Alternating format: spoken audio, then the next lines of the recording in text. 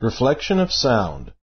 It is the returning of sound waves in the same medium due to hitting a reflecting surface.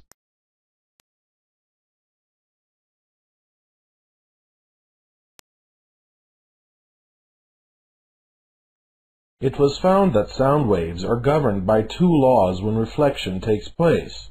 These laws are known as the laws of sound reflection.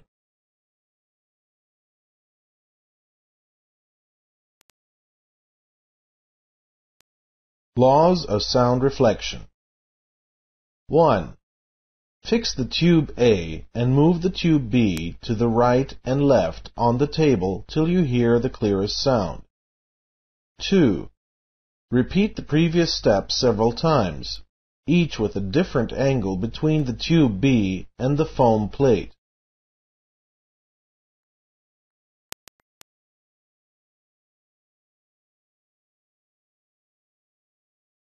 Observation 1.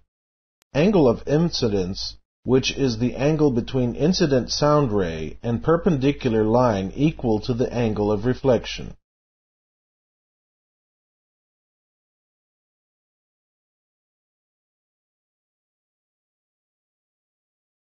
Two.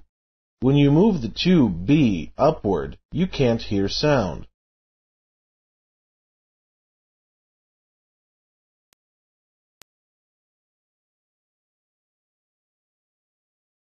Conclusion Laws of sound reflection are First law 1.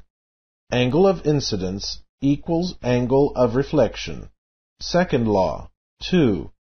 The incident sound ray, the reflected sound ray, and the normal to the reflecting surface at the point of incidence all lie in one plane perpendicular to the reflecting surface.